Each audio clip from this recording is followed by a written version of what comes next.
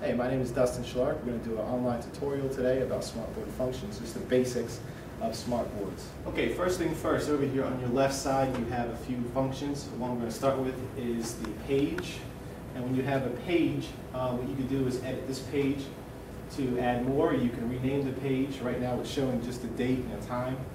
But if you wanted to add more pages, you can add them over here by just pushing the arrow down and insert pages. You can also get rid of these pages by hitting the delete page button. Um, so what I'm going to do is I'm going to move from this tool over here, I'll come back to this, and show you a few things with the erase. When you pick up the eraser, it's automatically going to take you over there. There's two ways that you can do it. You can simply just go back and forth and erase what's on there, or if you have a large section of writing, you can take your eraser and go around the entire part of what you want to erase, and then tap somewhere in the middle, and it will erase everything. That's simply using the eraser key. Now coming back over here, this right here is a shade key.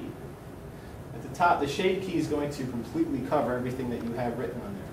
So if you have maybe a quiz that is on your smartboard at the time, what you can do then is, so the kids don't go ahead of is cover certain parts. So maybe you want them to stop at number one. Come down number two, that way is a pacing where you can cover certain answers as you're going along. Okay, the next tool is just a widescreen version.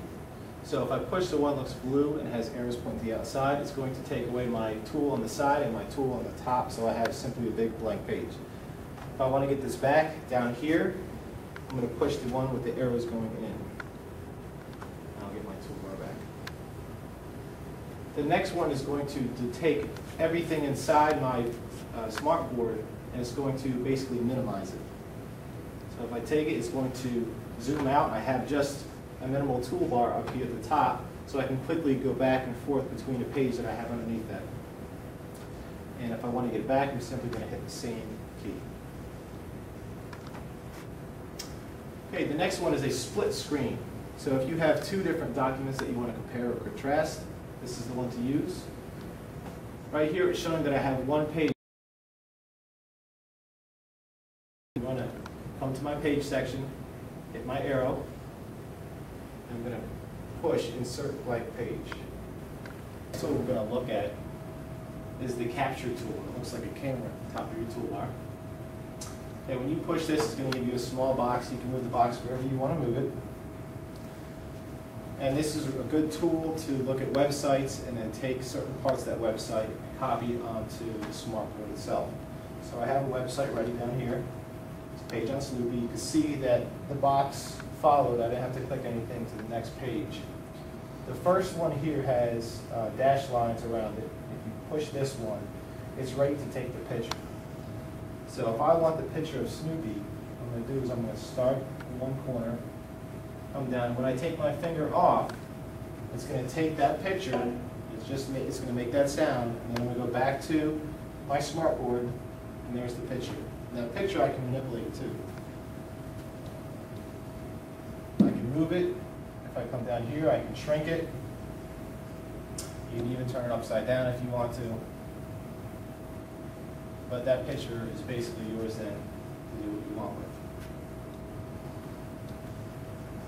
If I go back to my page, the second one and the third one basically do the same thing. If I want the entire page and save that, I'm going to click it.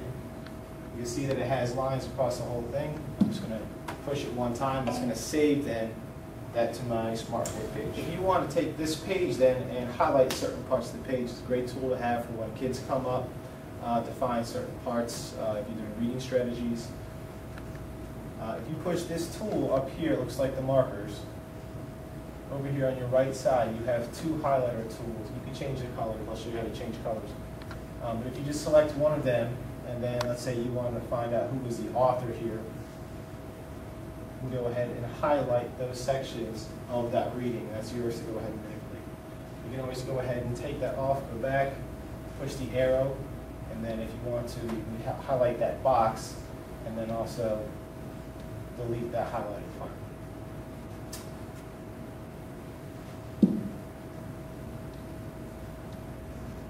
Okay, the last one over here with dashed lines and it has almost like a circular view to it is pretty neat. You can go ahead and take certain parts of that website instead of the entire thing or a certain box. So you can cut small pieces out of that website. So if I go back to my smartboard page, you can see this is exactly what I've highlighted when I take that section. So it's kind of a, a funky tool to just take certain parts instead of a box shape.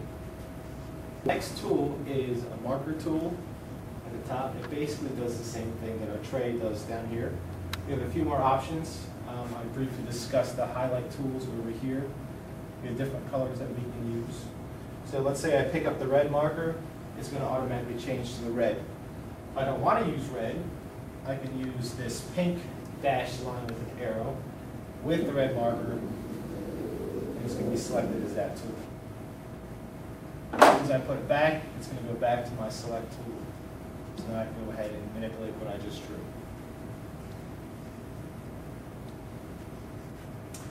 Our next tool is the erase tool. And I basically showed you with the eraser, it's going to automatically choose a setting.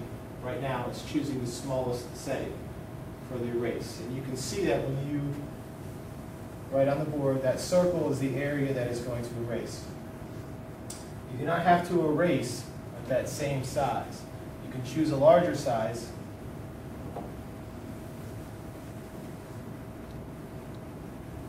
And you can see that that circle has got much larger.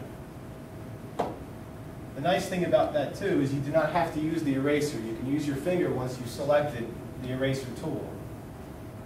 And it acts just like the eraser. The next uh, tool that we have is the lines tool. And this basically gives you straight lines when you're writing. You can write with your finger, you can write with a pen. It doesn't matter. So for geometry, different tools you can use. You can also change the font colors as well as you go along.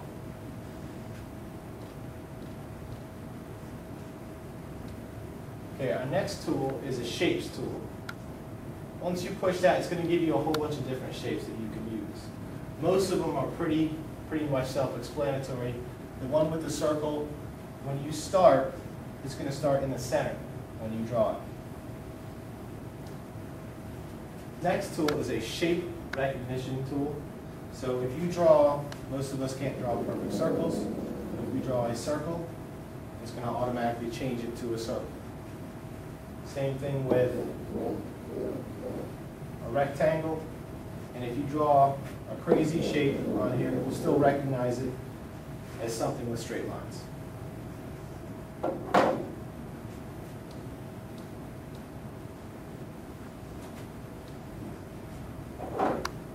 Okay, the next one is a magic pen. And what it's going to do is it's going to draw like a normal pen, but after a few seconds, it's going to slowly erase it. Okay, if you are doing a math problem or you're doing something on here that you want to record, this is what you want to use. It's called the fill tool at the top. It kind of looks like a paint can that's spilled over.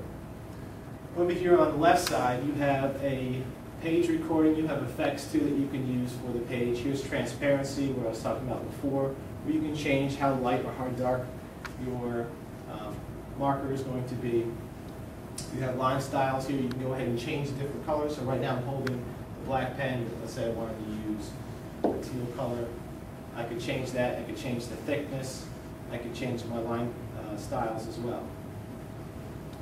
The main feature here is the page recording. So if I wanted to make it a math problem or I wanted to write something out that I wanted to save, and it's going to play it back in a step sequence. So if I start recording,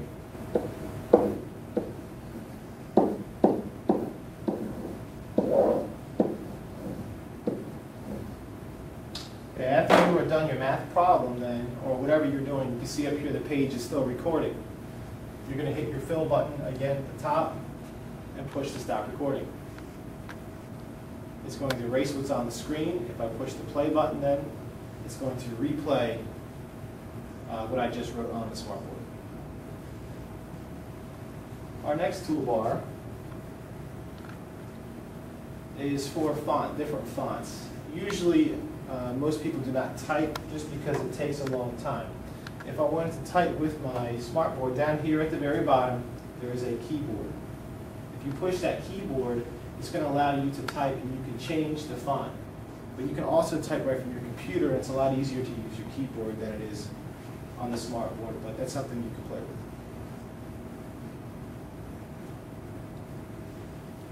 Next tool is a properties tool, it does pretty much the same thing that the fill tool did. Over here you have, again, your fill effects for transparencies, line styles for different colors that you can change your markers to, text style, and then your page recording, you like to uh, record your page.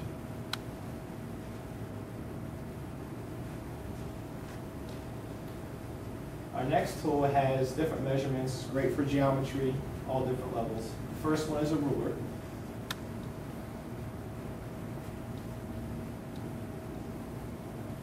Here you can change, you push the arrows different, um, how you want to set it up on your page. You can also move it and center it. If you wanted to measure, you can change over here to maybe make a ray, and you wanted to measure the ray in inches. Right now we have inches. We can push the two arrows, and we can change the top end. I'll push my select to first. And I'll have millimeters then at the top, where I can change it back. So if I wanted to use inches, I do is just go ahead and move it, line up my ruler, and measure my, besides the ruler, you can also use the protractor sequence, and that works just the same as the ruler does. There's also a compass, you could draw circles on here. Again, you could use different tools. You could use the shape recognition and still draw a circle. Here gives you more of an accurate um, view of what the circle is going to be. Last tool just moves the toolbar up and down. You can see where it has the arrows pointing up and down. If you push that, it's just going to move your toolbar down to the bottom, and vice versa. Okay, the last thing I'm going to show you today is some resources that you can get off of the internet. So if you push down here on the side, it looks like a picture. If you push this button, you can search for different items here at the top. If you have a lesson on language arts, on poems, poetry, you can type that in there and then it's going to search that for you. You can use the internet to search different sources or you can use for sources that are already on the Smartboard software. To look online for different uh, lessons that you use for Smartboard, you push the Smart Exchange. Down here. It's going to give you the website, and you can look on this website, and it's free to search for any of this, uh, any lessons that you're looking for. I hope this helps with the online tutorial, just basic skills of how to use the toolbar, and uh, there'll be further lessons on certain specific lessons.